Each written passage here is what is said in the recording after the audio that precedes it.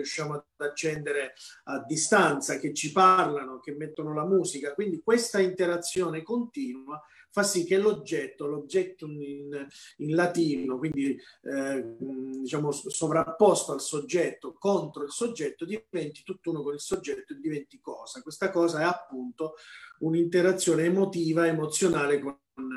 con il design. Questo design,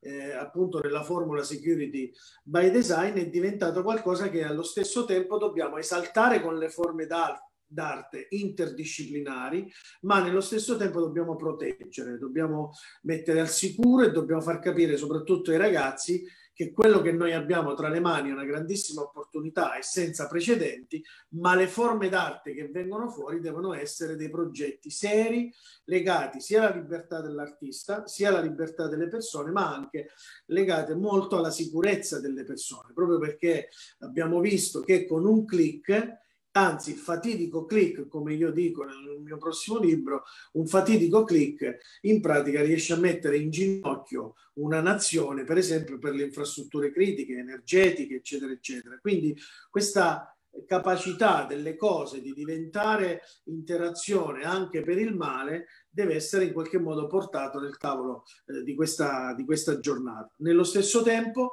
richiamo il concetto sia di intelligenza artificiale, di digital innovation e di digital transformation che si sintetizzano in un unico termine che è digitale. Quando noi parliamo di digitale dobbiamo ricorrere sempre a una propria eh, sua etimologia che è proprio digitus digitalem, che in realtà vuol dire una doppia cosa, cioè digitus dito, quindi fare qualcosa richiama il concetto di arte di tecne che poi si è evoluta nel tempo, ars are, è una pianta sedativa, quindi allo stesso tempo può essere un'opportunità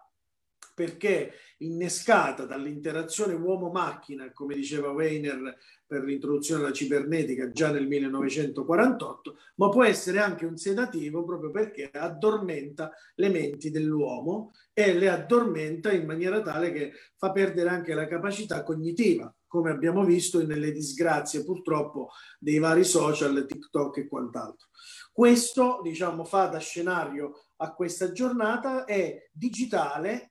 e concludo, eh, si è evoluto poi nel tempo attraverso il termine inglese digit, cioè cifra, cifrare. Quindi digitale oggi, oltre che essere appunto operatività con il dito,